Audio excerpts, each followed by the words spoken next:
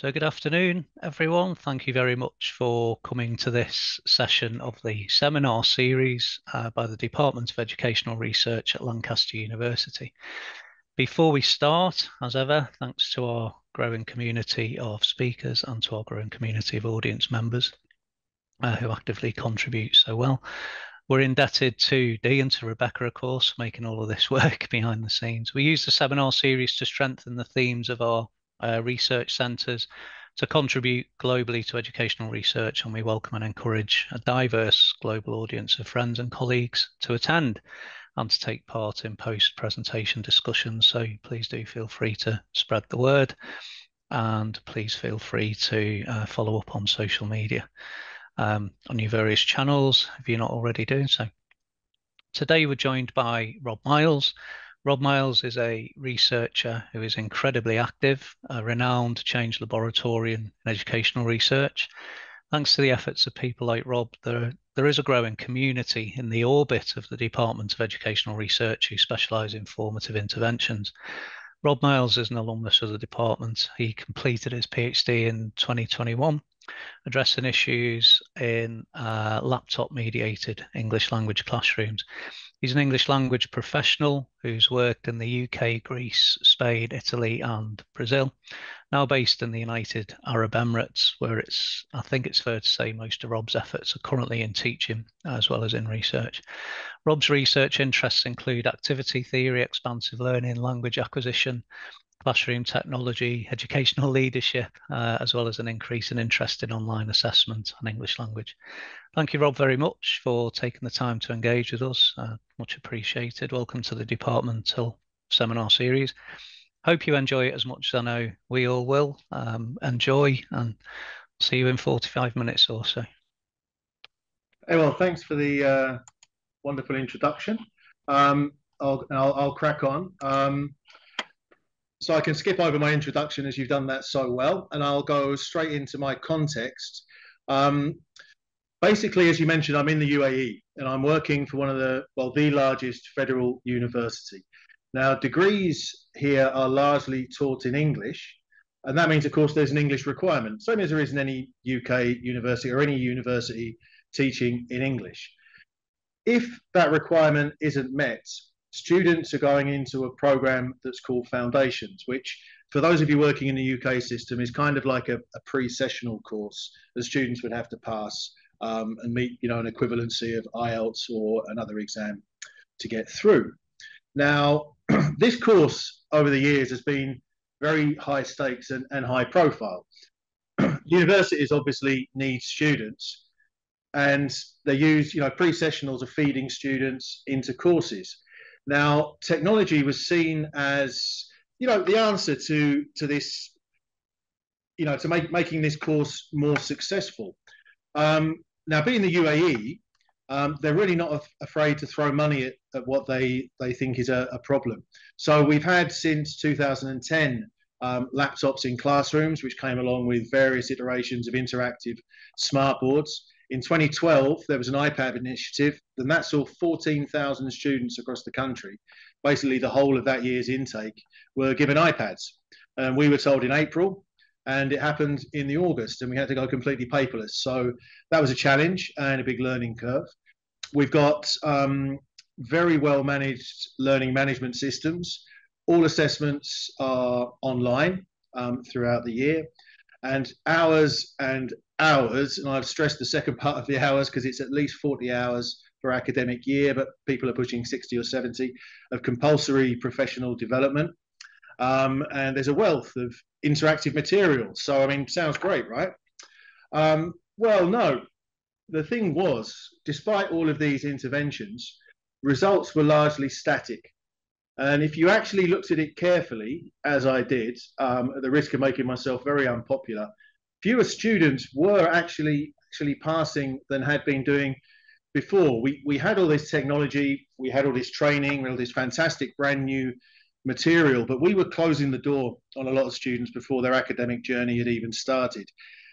We were advertising a 70% pass rate, but that was seriously massaged. And I think if you looked into it, it was going as low as 40% on some campuses. And I'm sure you know, for a university where you've got perhaps at the time 60% of the students were coming into this foundation course, this pre-sessional, were only 40% to then be getting out the other end, um, was was you know disappointing to say the, the least. So top-down interventions hadn't worked. We'd had like the the laptops, the iPads, the compulsory training, everything like that. We had great teachers, no doubt about that. You know, who were dedicated, who were putting in the hours of the training, trying out new things. So once I got round to, you know, in a position where I was doing my PhD and I was looking for a project, I thought, well, this is this is a, a big um, this is a big yes for me.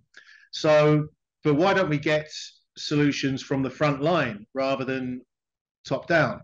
You know, what do the teachers on the front line and, and where possible the students, what, what do they see as the root of the problem?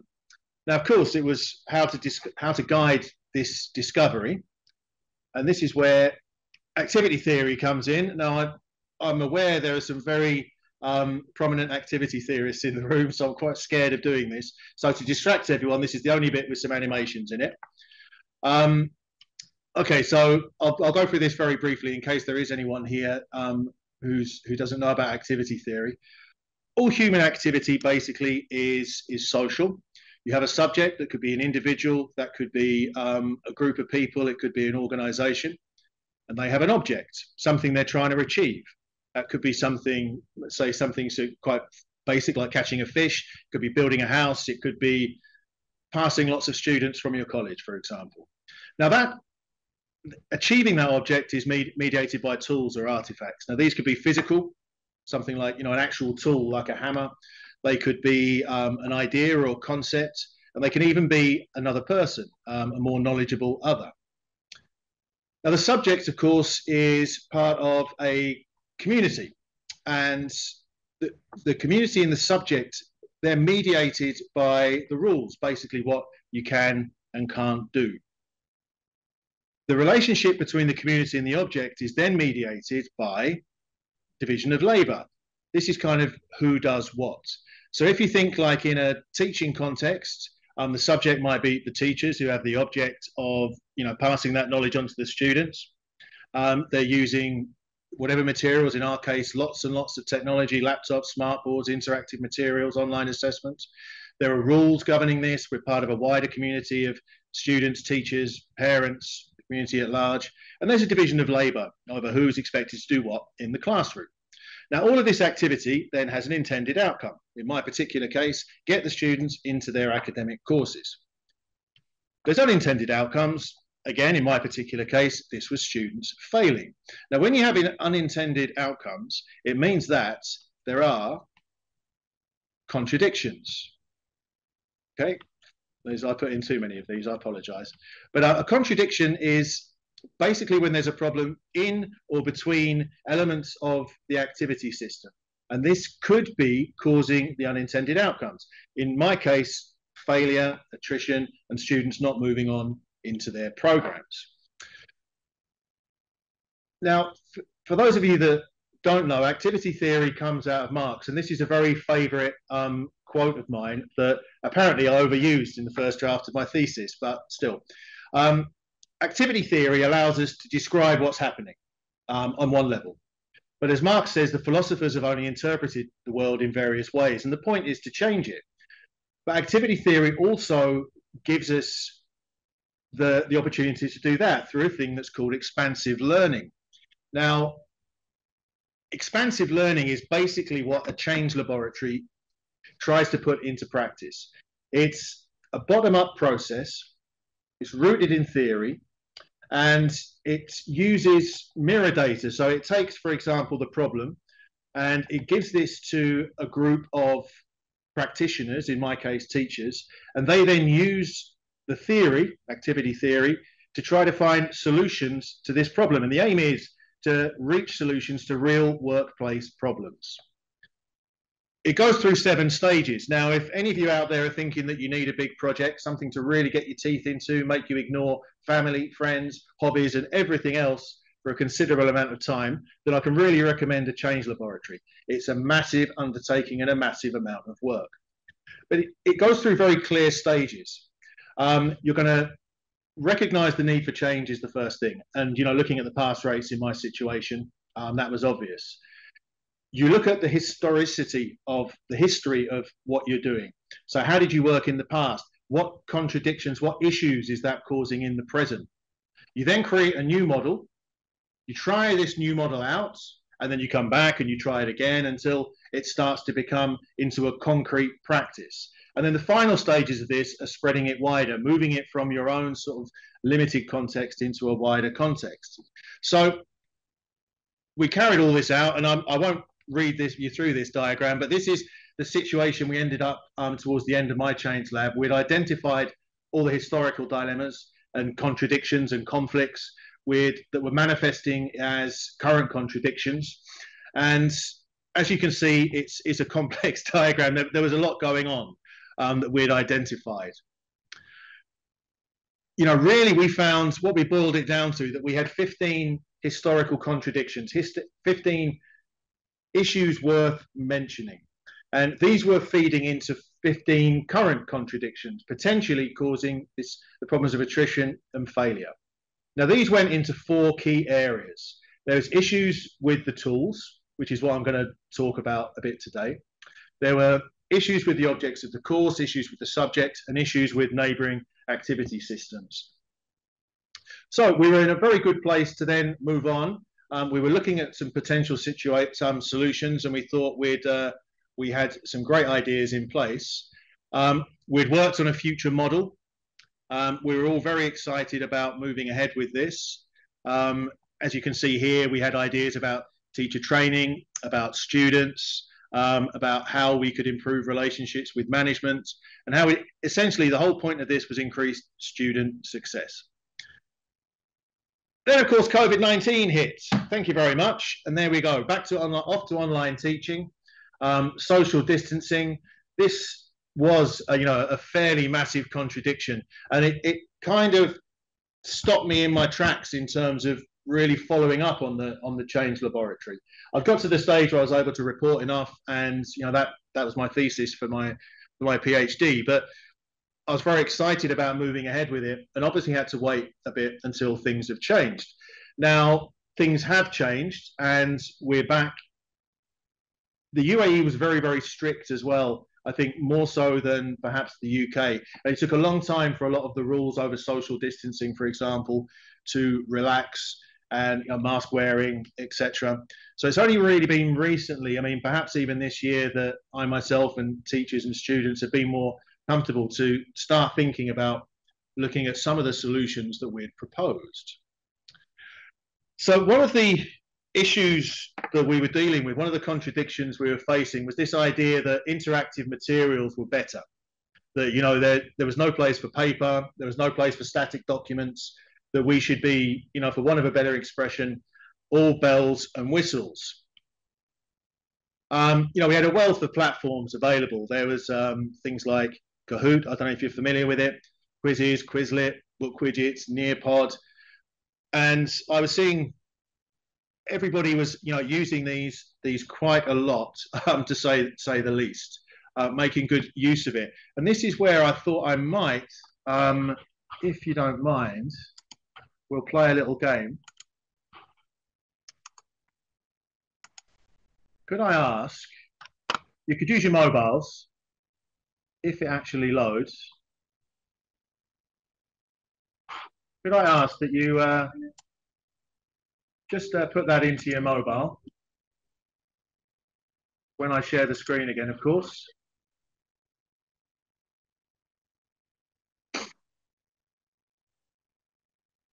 There's a code at the top. If you just go to kahoot.it,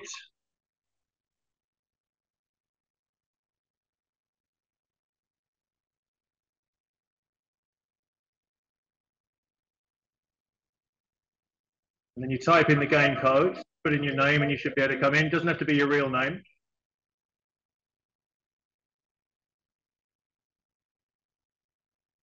Use another tab on your computer. Steve, thank you. Welcome.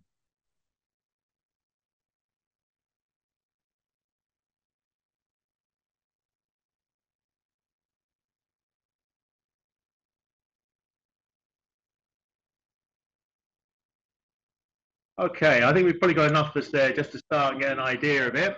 So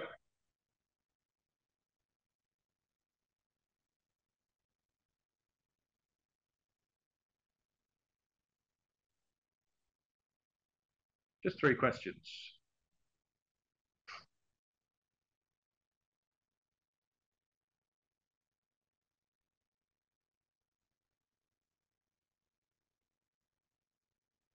Ah, so interestingly, only one person knew that. There were seven Emirates in the UAE. Um, I won't list them for you because I might miss one out. Try the next question. There's only three questions, so it's pretty quick. And well done, James, there for being the one person that knew that.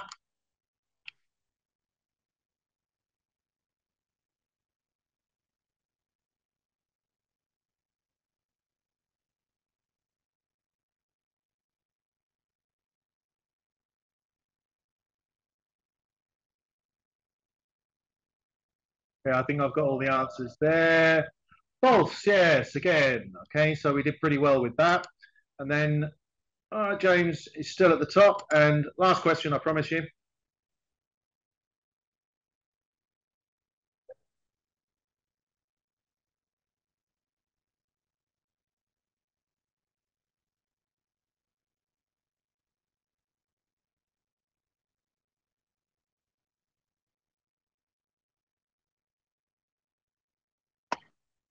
Okay, I'll just skip that ahead so we can get to the answer. The answer, of course, was Arabic. And then we get a podium in third place. Brett, well done, Brett. Second place, Johnny. And then in first place, I'm guessing, James, well done. Okay, so I shall stop that and turn it off. Okay, that was just an example of one of the sort of uh, platforms that teachers here were using. And I think, you know, yeah, that's a bit of fun and um, seems very engaging.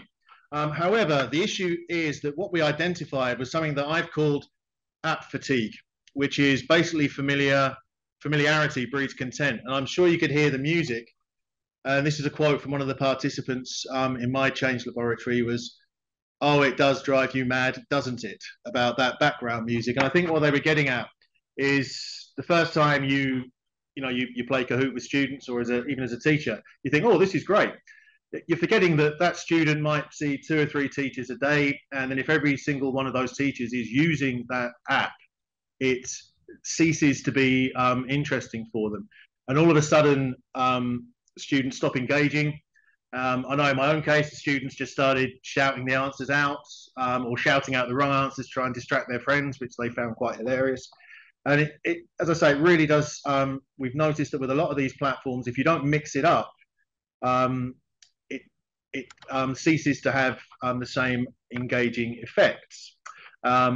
with this manifested as a as a secondary contradiction there is also an element of obviously of gamification to this you know like being first being the winner um, and that I also think started to manifest in, in other platforms that are not necessarily aimed at producing winners, but it, it started a thing that I then called the halas mentality. Now, I don't really speak very much menta- um, mentality, much Arabic, but um, halas means finished.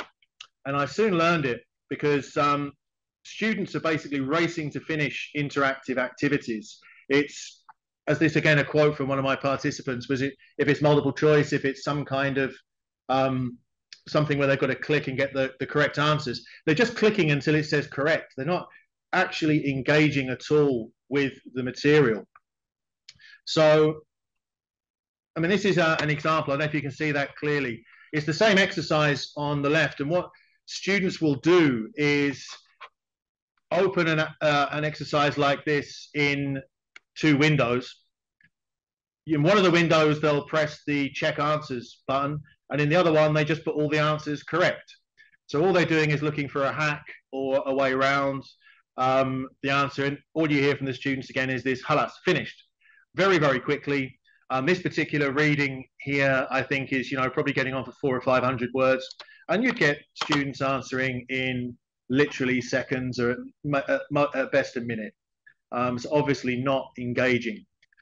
So this is obviously an issue, but then what becomes a solution to that? Well, one solution I already mentioned is to mix it up a bit. Don't overuse something. Try out new things. Um, but we also found that we had quite a lot more success in our context with simple documents.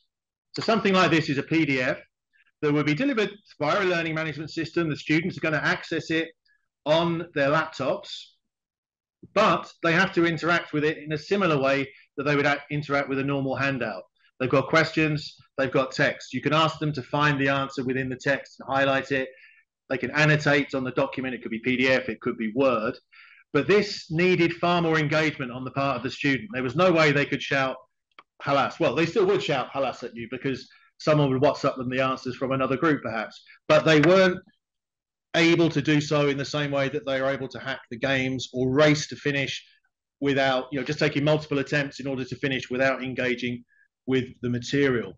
Now, in terms of the theory, this I believe goes back to the idea of you know having a more knowledgeable other as your tool. All of a sudden, that the teacher's no longer redundant. I know there was a lot of that talk about you know with technology the the teacher becomes the the guide on the side rather than the sage on the stage. And I'm not saying we need to go back to this sort of I know everything teacher mode.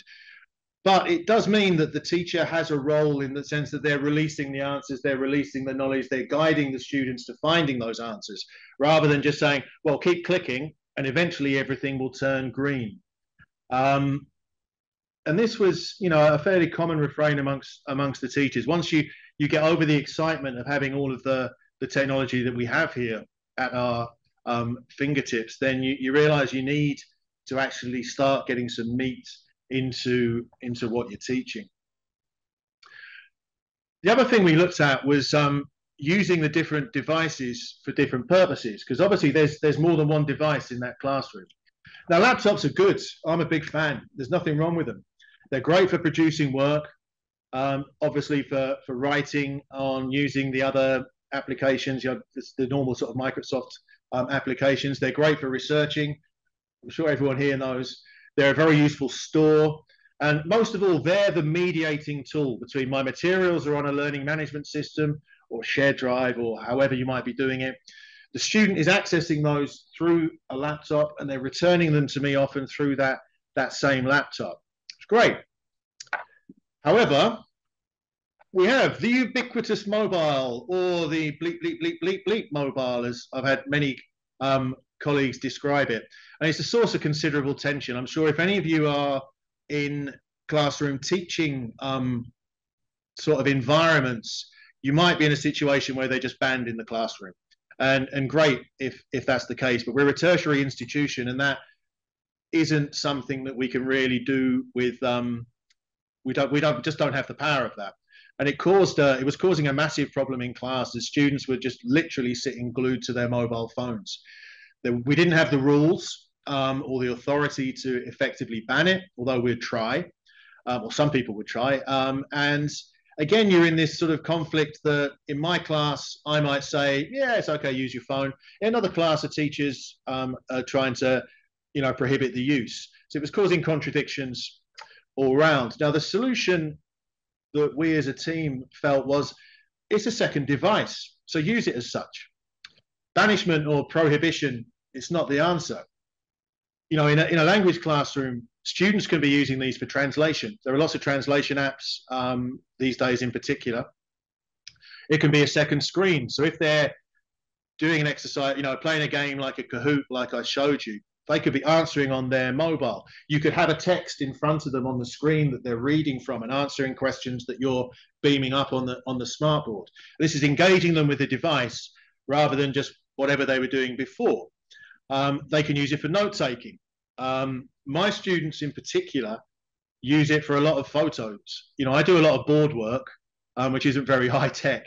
Um, but my students take lots and lots of photos of it. And they seem to find that a better way of, you know, taking down notes about steps for something. If I'm asked, if I'm telling them how to submit an assessment, for example, onto the learning management system, they'll video me going through the steps and then just use that. If I send them a video, they won't watch it. If I send them the steps, they don't read them. So I stand there and show them, but they'll film me doing it or take photos of me doing it. So if you find me on TikTok, that's where it came from.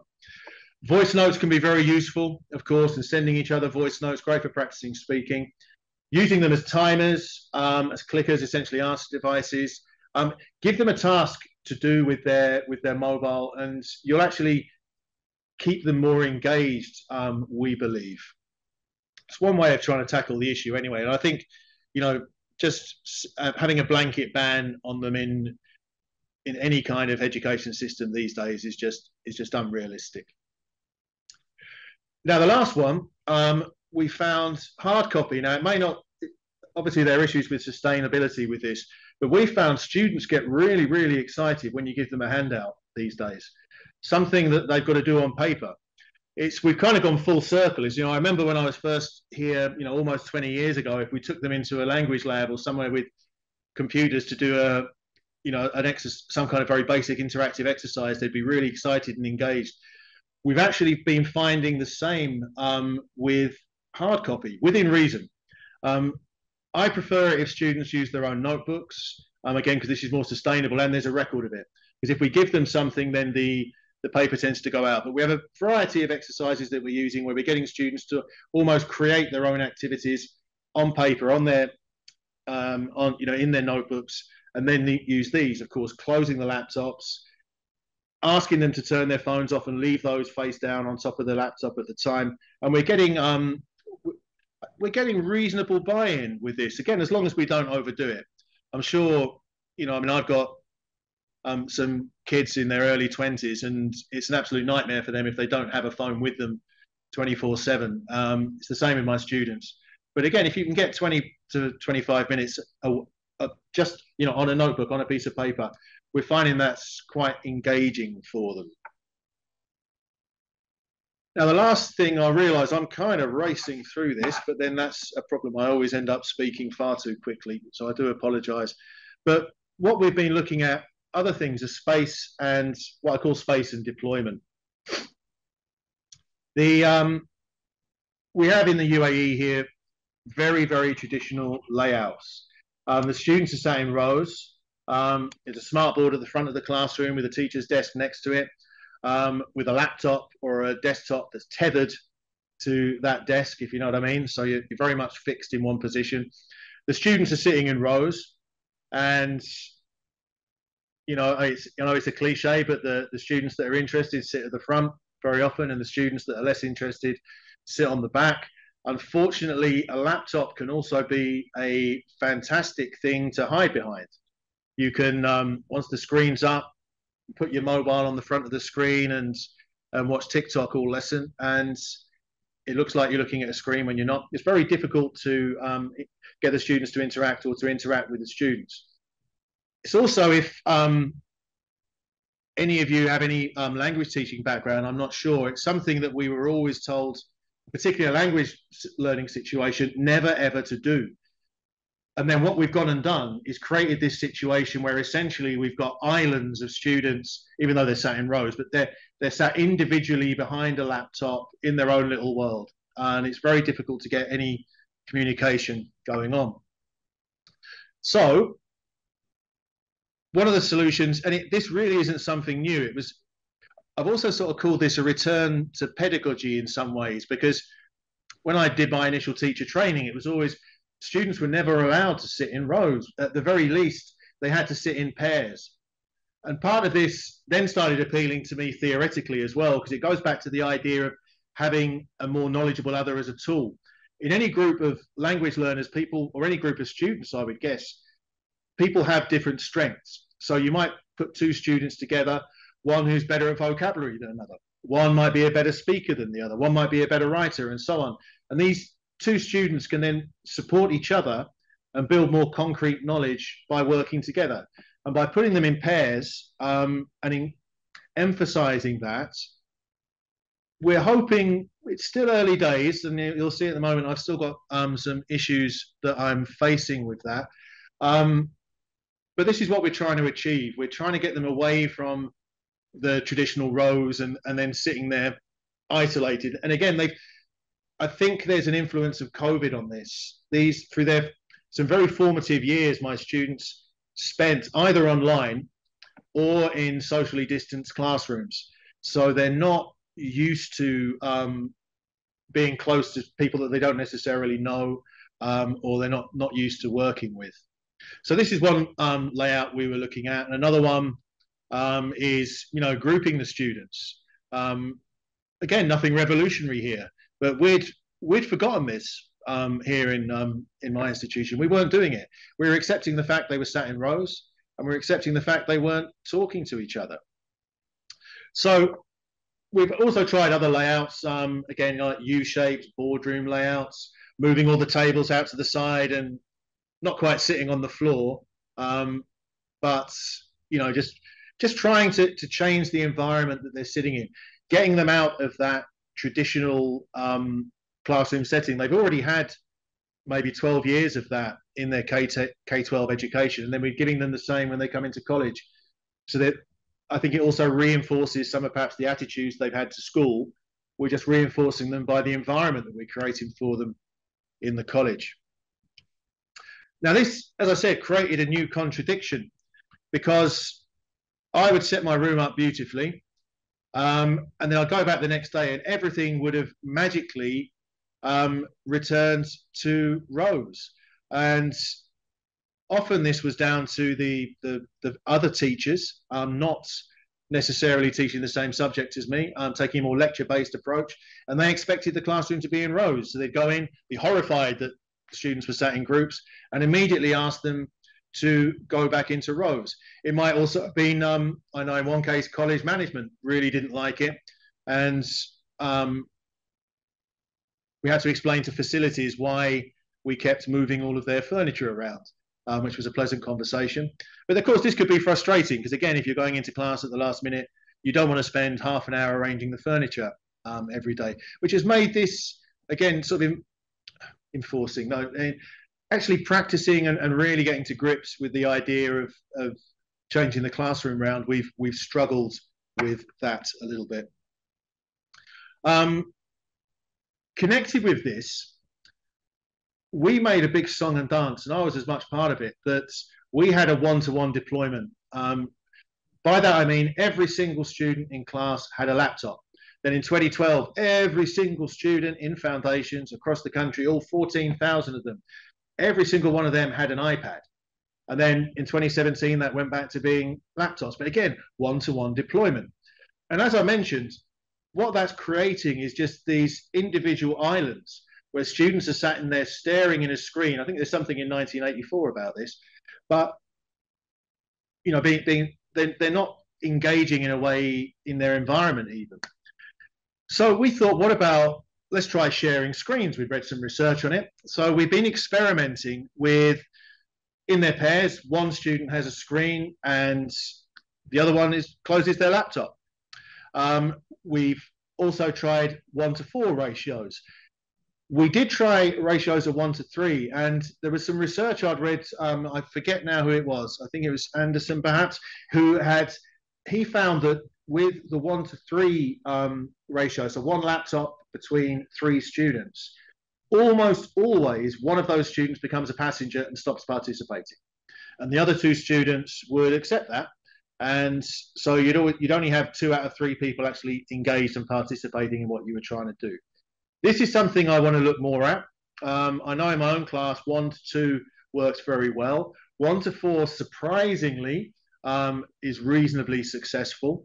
And one to three, again, I, I, need to look at it more carefully, but it, there does seem to be some some truth in um, the observations that from the research I've read.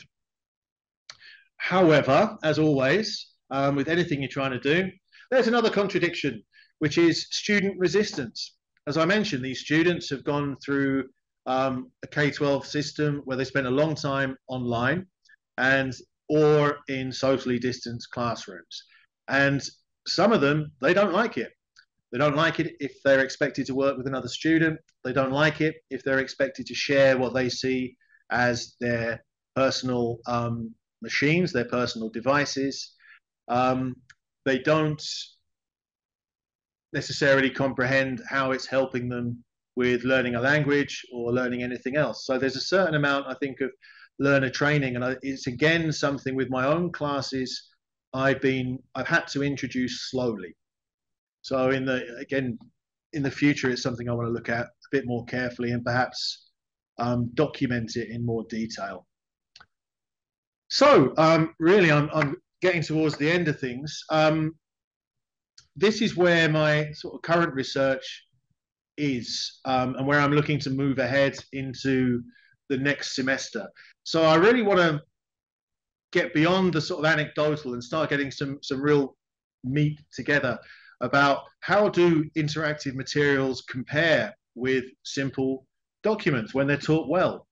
You know, are we wasting our time creating thousands of Kahoots quizzes and interactive games and interactive exercises when really we should um, perhaps, you know, again, not getting rid of the laptops, keep mediating through that, keep using our learning management systems, but are we overdoing the interactivity? It's very impressive when we stand up in conferences or give training sessions or show management what we're actually doing in our English language classes, but is it actually effective? So um, that's one area. The second area is going back to the laptop and the mobile. I mean, it's, it's making best use of um, both devices that are in the classroom and what device best suits an activity. The main issue um, at the moment, of course, it's it's a lack of a policy on it really, and it's, it's occasionally we're told that it's absolute no no no laptops in no so no laptops no mobiles in class, and depending who your particular management is at that time, they might um, people might be criticised if they if they're seen allowing students to use laptops in sorry use mobiles in class.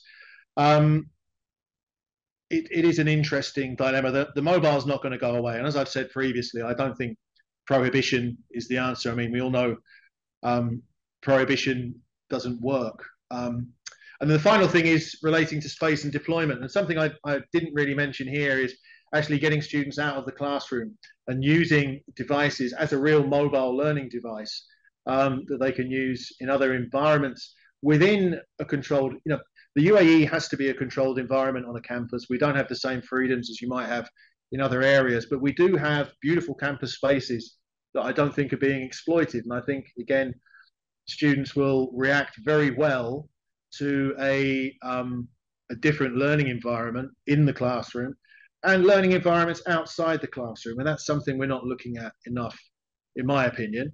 And of course, I tacked on the end the big elephant in the room. Where is where is AI in all of this? Where is artificial intelligence? I'm sure everyone is coming up against it. Um, coming up against is the wrong word. I think we've got to learn again, like the mobile phone or any of these things. We've got to learn how to embrace it. At the moment, there's perhaps a lack of policy and a lack of clear direction on that. But that's going to be a concurrent. That's going to be a theme that's running through everything I do. I think for um, for the for the foreseeable future. So it's something I'm going to have, have to add to my bio for the interest. But I am currently involved in some policy writing at a national level on that. So that's something else that I hopefully next year will be able to report back to you on. And as I said, I've kind of raced through that a bit, um, and I do tend to speak very quickly. I hope you found it helpful, or at least interesting. And I'll pass it back to Phil for the for the next stage. Thank you. Super that. Thanks, Rob. What an insightful study. One of many that you've been involved with, and super to see some of those traditional false dichotomies being confronted too, like um, online, offline, digital, analog, knowledge, skills, you know. Um, please, if you wish to do so, uh, feel free to turn your cameras on, but we are being recorded, so please don't feel compelled to at all. If I could ask you, though, to offer some applause or recognition, use Zoom's digital representation of applause, if that suits you better, if that's more convenient. Thank you. Uh, it is time for some questions, if you wouldn't mind fielding, fielding some. Type them into the chat box there, or uh, feel free to raise a hand either um, digitally or using an analog means, of an analog hand if you'd like that. Um, we will get some from the audience. I know that. So I've got a few, Rob, but I'm going to uh, keep those and okay. defer to the audience. Uh, let me just see. Ah, somebody's got their hand up here, Rob, and that's somebody called Brett Bligh. Let's see what Brett Bligh's going to ask about. Would you like to ask? Brett? So, thanks, Rob, for a really interesting presentation. I mean, you'll probably know that I know rather more about activity theory in the Change Lab than I do about uh, laptop mediated classrooms or English language learning. I, I actually have several questions, but I'm going to do is like ask one and then let's see if I get the chance to come back again in a bit. I have a list of about three. The first question was actually your your presentation um, focused quite a lot on uh, the final analysis, as it were. You know, these were the contradictions that we as a group um, decided were the contradictions in our classroom. I wonder if you could say something about the process. So I'm going to assume that this isn't anything like the usual way of working to address problems in this institution, both in terms of part practitioners having to come together to even decide what the problem is, um, in terms of not taking knowledge from somewhere else but developing it yourself, and also in terms of, to some extent, being asked to grapple with technical philosophical activity theory kind of terminology right? So how did it go? How did people respond to being asked to go through this kind of process in that setting? The actual participants were were very keen although they did struggle with the theoretical element of it so as the sort of researcher interventionist i was kind of having to in many terms retrofit um, the theory onto what they were talking about. You know, I've got a great quote somewhere from uh, one of the teachers where he sort of says like, "Oh yeah, all those bloody triangles you kept waving at us." Um, in terms of activity theory diagrams, but it, I think the teachers, you know, the teachers, the participants responded to it very, very well. I've since um, I've been sounding out some people higher up as well, and I've got a good ally, I think, who I'm hope hoping to be able to work with um, next year um, who's who's in a position where he can get me to work with different departments and different um, sort of different groups of people. The group of people I was working with, I knew fairly well, so I think they were, you know, they were comfortable doing it partly because they knew me. I wasn't. I was an insider sort of change laboratorist rather than someone coming in from outside, and I think that definitely helped the process. The um, it wasn't all smooth sailing, of course. It's the the main challenge I say for for one person to do it is it's a massive amount of work, and I was trying to do it within two week cycles between the things. So having to sort of analyze everything, prepare the next session, um, have a day job, um, you know, talk to my wife and kids occasionally, and you know, sort of go out now and again and and um, enjoy myself. It was that that's that's a big a big challenge. But as I say, in terms of the actual process, I think it engages people. They like being given that um, autonomy to say we think this is the problem because again in this institution that never happens no one ever comes to you at the front line and says why do you think this is happening someone stands up and says this is why it's happening and it's probably your fault so they they did respond well to it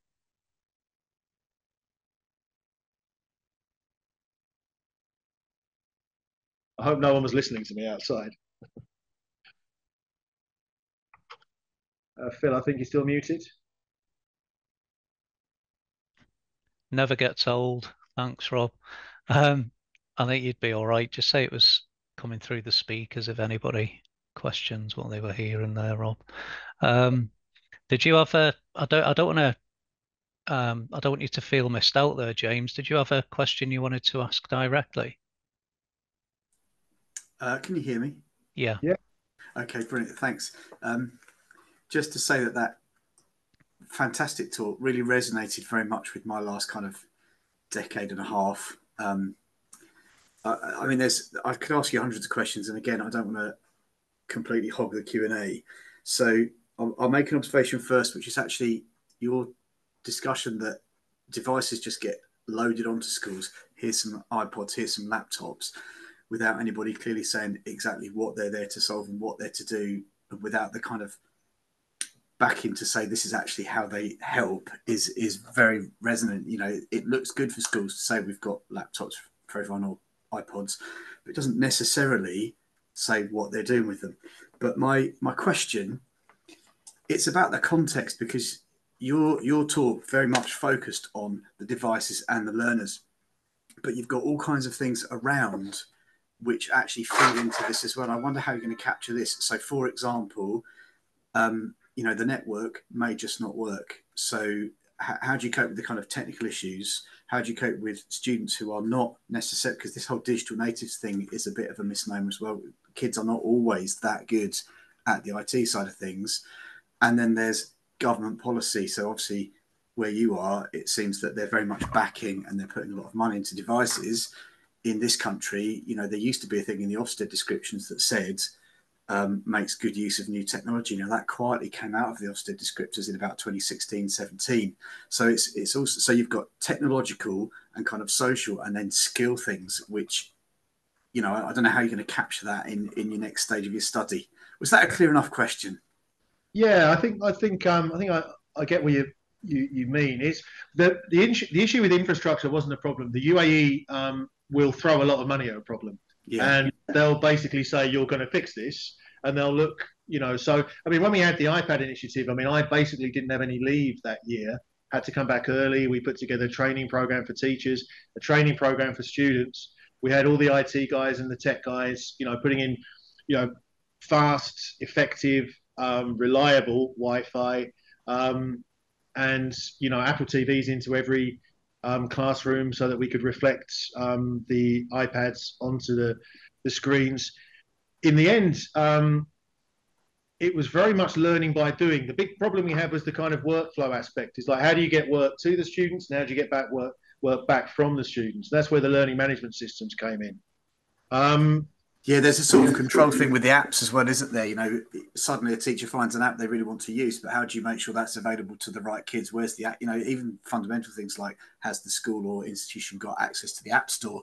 And if you end up with loaded devices before you quite know what you're doing with them, you end up starting from right near the end when actually you need to start a bit nearer the beginning. Yeah, that was a that definitely was a problem, and I think you know over the years we've sort of it's why I think one of the problems with app fatigue is because we've kind of honed it down to sort of maybe like five or six things that everybody uses because everyone can access them. We know they work well. Um, but then the problem is, it's like, it's fine if I'm your only teacher because I will vary it. But if you're walking out, if you've just done a Kahoot, for example, in my class, and then you walk into Brett's class and he's doing a Kahoot, and then you walk into Philip's class and he's doing a Kahoot, you start to lose patience with it. So so yeah, I mean these were these were challenges we faced, but it's it's less of an issue now with the laptop, and because we've got you know a very sort of solid foundation of um, basic materials that we do deliver, and the course has been fairly sta- stable for a while. And again, I think you know we've the teachers are really. I mean, I always say to the people um, that I work with that we think what we do is every day, but we're really quite cutting edge in terms of the skills we've developed. You know, dealing in these, you know, these um, laptop mediated classrooms. Can I carry on for a minute? Is that right? Fine with me, yeah. Please do, so James. The, the, mobile phone thing, I couldn't agree more. There's no point in fighting that. That's a that's a stable door on a horse. If students engage with the world through their mobile phones, you need to find a way of making that relevant. Um, and so perhaps I'll, I'll back to my original question, which is this government would very much like to ban phones in schools.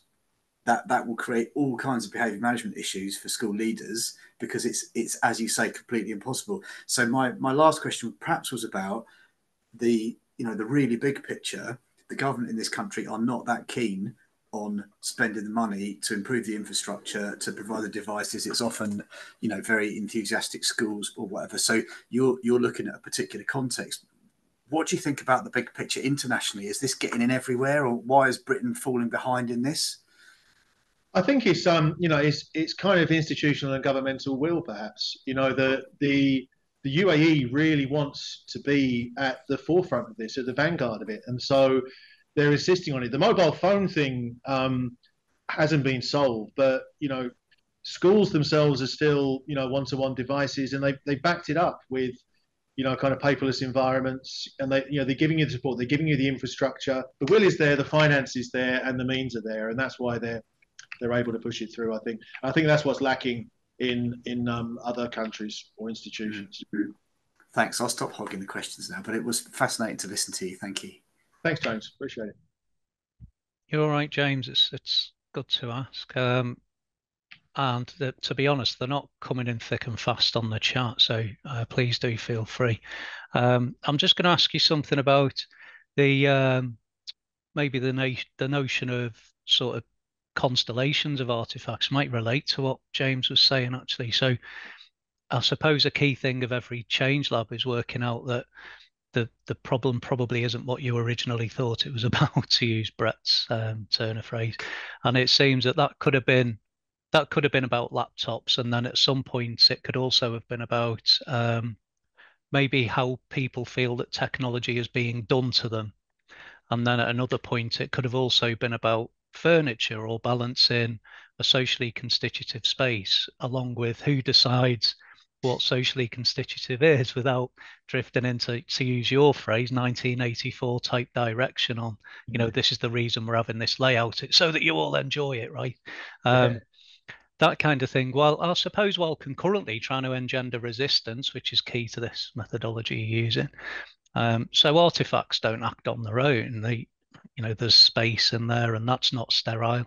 I think he used the term space and deployment. I also think that we quite often make the mistake of we say technology and we focus solely on digital, and there's quite a lot of things like chairs and as you said, pens, whether they're into the equation or out of the equation, they're, they're relevant in some way. Otherwise, they wouldn't have been removed. Um, and you know, school bells and things like that. So, in terms of that whole kind of constellation of mediating artifacts, how how how on earth do you look at those future plans that you've got, Rob? What are you going to do?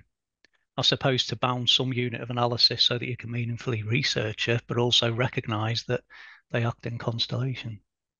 Yeah, it's um, this is the whole thing with with the Change Lab. You know, again, what attracted me to it. I mean, I've been, as I've mentioned, I was part of the iPad initiative and very, very gung ho about it. Um, the decision came from the government, but when they said in the institution we need someone to run that project team, you know, I and they they asked me, I was all for it, um, and very, very top down, very, you know, jumping in with both feet. Um, and again, it was that kind of thing. You will use it, or else. In some cases, I think you know, without without being, you know, not being necessarily like that myself, but that we weren't really given any any choice in the matter. So to have a change lab and, and to go into that from the bottom up, and not really knowing where it was going to go was fantastic. Now, what it does do is it generates so much data. You know, I've got data upon data upon data that I found I just had to sort of focus on areas that my gut just said I was perhaps either more interested in or, or more likely to to look at. So as I say, at the moment, I've I've I've got it down to those three areas.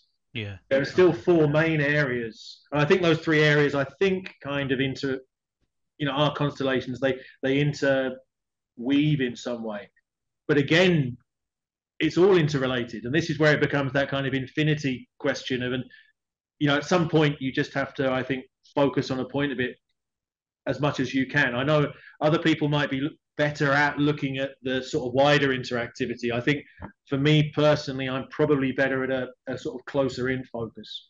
Yeah, okay. So the, I suppose a change lab is a journey, not a destination or something like that, isn't it? Um, yeah. I mean, just before we bring Brett back in, because I know he's itching to um, ask you a few things. If in terms of the top down having not worked properly, uh, so clearly rich ground for a bottom up approach.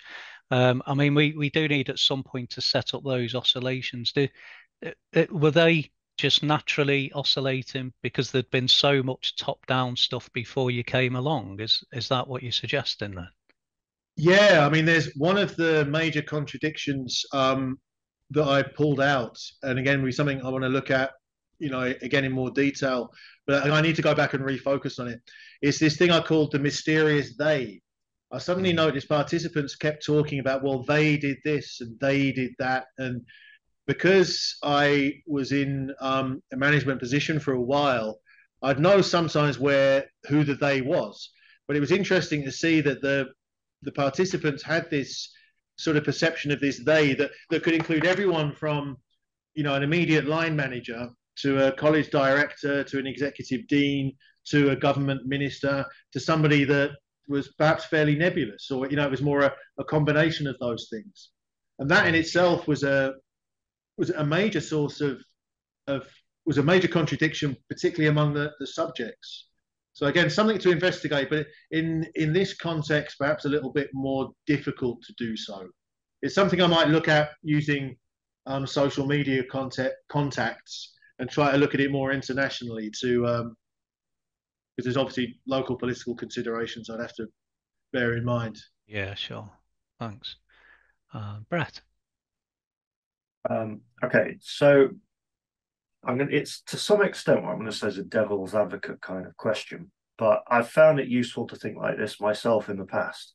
So when you go through a change lab, for you, okay, it's a lot of work, but it's also very rewarding, right? Absolutely. It also tends to be most of the time actually quite revolutionary in the local context. Okay, yeah. so, so you get very swept up into it, and I find that by the end of a change lab, people are talking very much in terms of um, how swept up in it they got, and how brilliant it was, and how revolutionary it was, and I realise that for other people who don't go through this process or who listen to somebody like you moan about how they didn't get to speak to their wife enough or something like that, they start to think of questions like, was it worth doing all of that work? And I've started to realize that you kind of need to be answering questions like there's probably two sides to this. One is, is the knowledge that you produced different from the knowledge that's already dominant in the literature on this kind of topic? Have you produced new kind of knowledge, you know, that you couldn't have just read in a paper already? Mm-hmm. And the other side of it is, have you produced knowledge that you couldn't have got by just, I don't know, sending out a questionnaire and saying, what's what do we need to do next? You know, to what extent do you think in essence. I mean, I, I tend to use this kind of phrase from Rosa Luxemburg people who don't move don't notice their chains, right? So, we, and you've used Marx's phrase about the point of the world is to change it so that we can, um, uh, among other things, learn about the world. Do we learn, or did you learn, do you think, by going through this process, anything that couldn't have been learned in an easier way?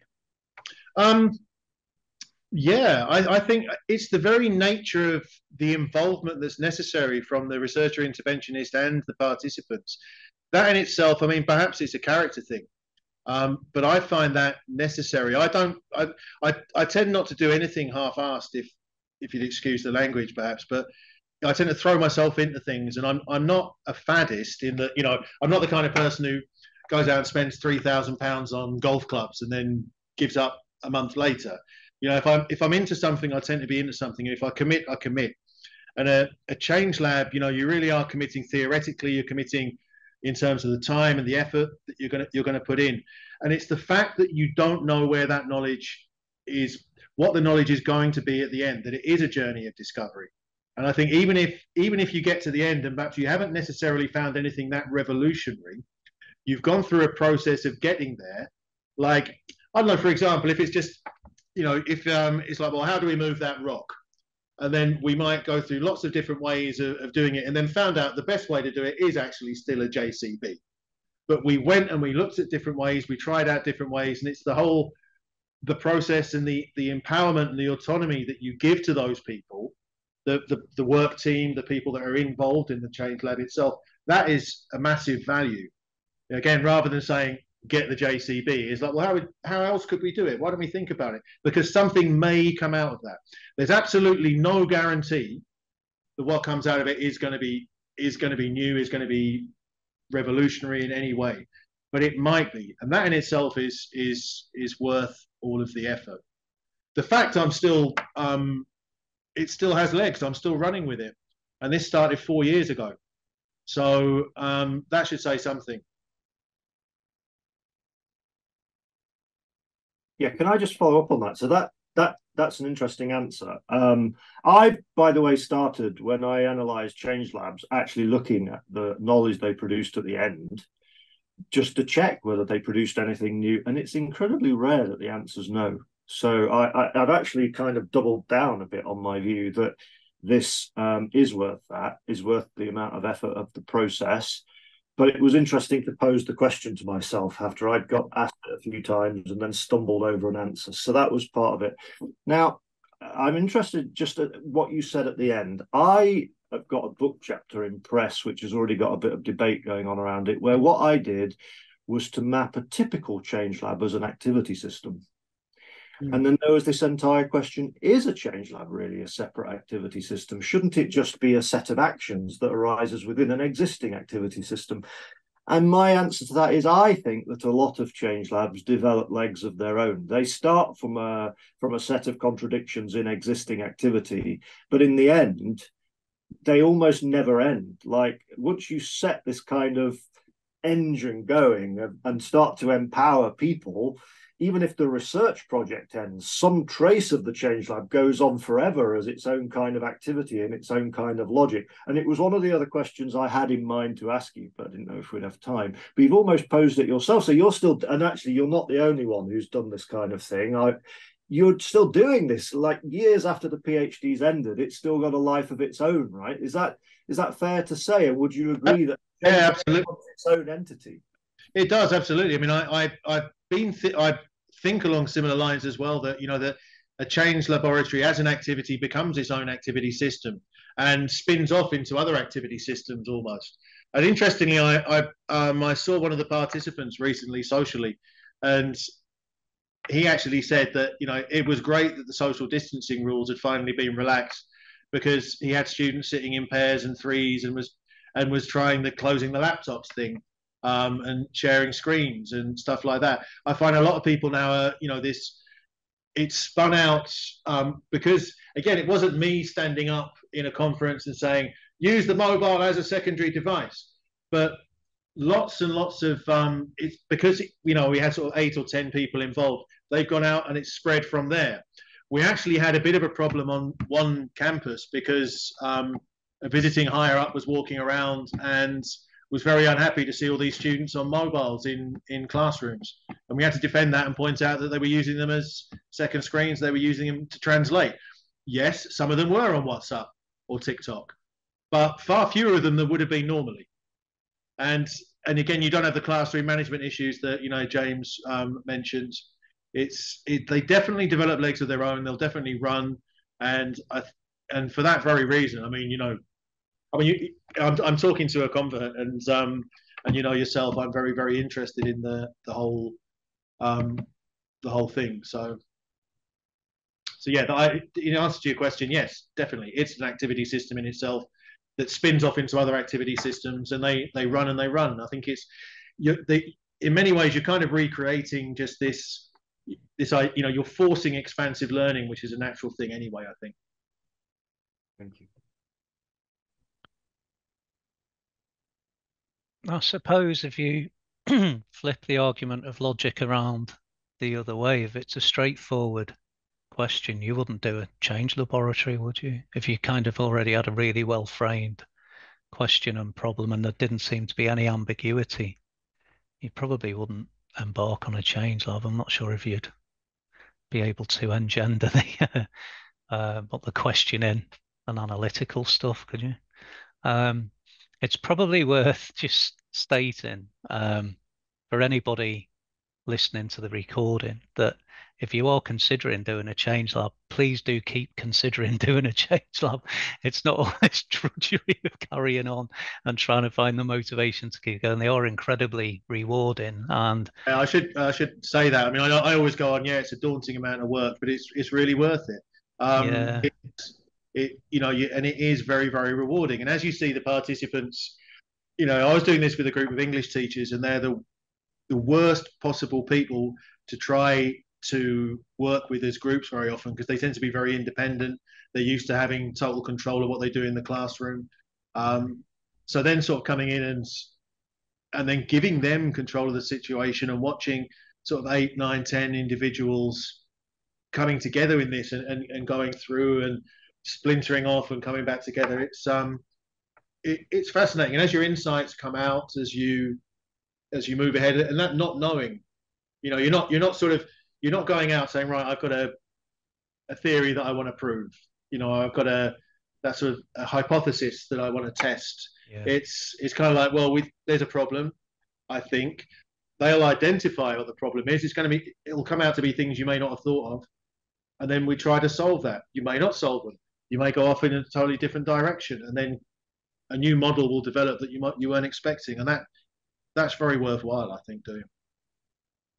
Yeah, I mean, a lot of change laboratorians they'll kind of um, I say a lot, you know, the, the ones I know, they'll kind of share stories about how all encompassing they can be when you're involved in them. But it's, you know, it's an incredibly positive thing for all those oscillations, and it can become almost all about that methodology, can't it? From when you get up to to when you go to bed that night, in some cases, um, and you know, your your thoughts are kind of occupied by this certainly a um, you know an expansive change on the world.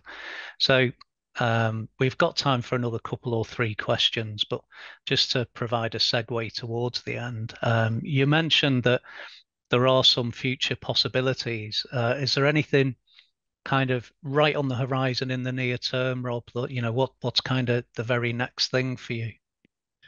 Well, what I'm hoping um, to do is well, the, at the moment, to be honest, I'm, I'm tied up in a big um, policy writing project, but that should finish hopefully in um, in the, the coming month. What I would really like to do, and I, I think I've got the support for it um, higher up, is to run another change lab, but about teacher training. As I mentioned, we have um, mandated uh, professional development hours. Um, some of these are mandated by the government, some of them are mandated by the institution.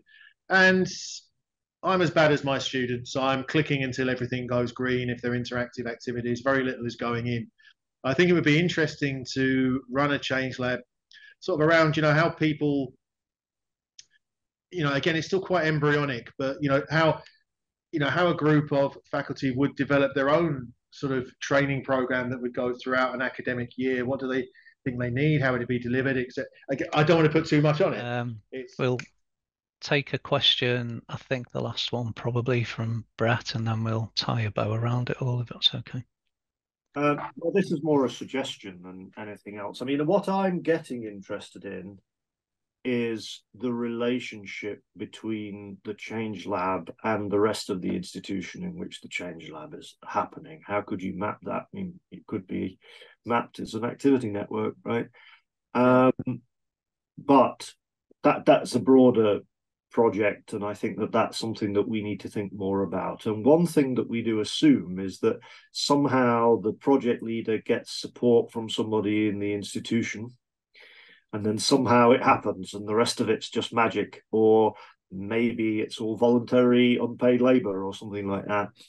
Um, I was reading a paper in the last months that was in a university, and it was in Costa Rica and they were doing a change lab with maths academics who were trying to reshape maths teaching in this university in Costa Rica. And one of the key things there was about professional development. One of the magic steps they were able to do at the beginning when they had an enormous problem with recruiting anybody was to say, well, just like you're facing, academics have to do a lot of professional development hours each year and they negotiated with the management of the university that participating in the change lab would be recognized PD hours itself. And suddenly they had loads of participants and suddenly people willing to devote time to it. And the Change Lab produced great results. But that was like a, a magic thing they did at the beginning, which I would have never thought of. And it kind of takes into account those relationships. You know like somewhere in the institution is a rule producing activity that's going to influence the change lab right? So you know you could maybe go and negotiate with that first. So it's an idea but also an intellectual interest of mine of well actually the change lab's got to fit within the existing institutional fabric of activity systems it's actually something i was able to do with my change lab. Um, uh, i was able to negotiate that we were able to say this was going to be x number of hours. Um, and that meant you know i was at least able to get people interested. We had an initial meeting um, that, let's say, like 12 people turned up to the initial meeting and four of them weren't interested. Um, but then I had another couple come in who heard about what was going on and were interested, you know, from the second-hand information they'd got. But it was a definite advantage having at least that level of institutional support to be able to say, you know, yes, it will be recognised because there's there is a certain amount of commitment. Um, obviously, you've got to put people into it, and people aren't going to do it um, just for the love of it, unfortunately. Um, and especially initially, while they're still perhaps finding their feet, as they get involved in it, and it sort of draws them in, the fact that they're getting PD hours for it becomes very much a secondary thing. But I think you know to, to get the recruitment for people, you need to be able to offer some kind of carrot.